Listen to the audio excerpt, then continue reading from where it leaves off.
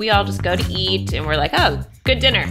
But there's right. so many more layers to it, which right. brings me to that freaking movie, Ugh. The Menu. So I don't know who of you have seen it yet, but just came out last week and I could not wait to see it, thinking it was going to be this. I don't know what I thought, but holy mama mia. Yes. I mean, that movie was intense and disturbing. I took my 80 year old father to see it, and about a quarter way in, he looks at me and goes, I don't know if I like this movie. Yes, I, I feel like I know exactly when he would have like, said that. He was so freaked out. And then afterwards, we went to lunch, and he was just like, I mean, he was like so freaked out.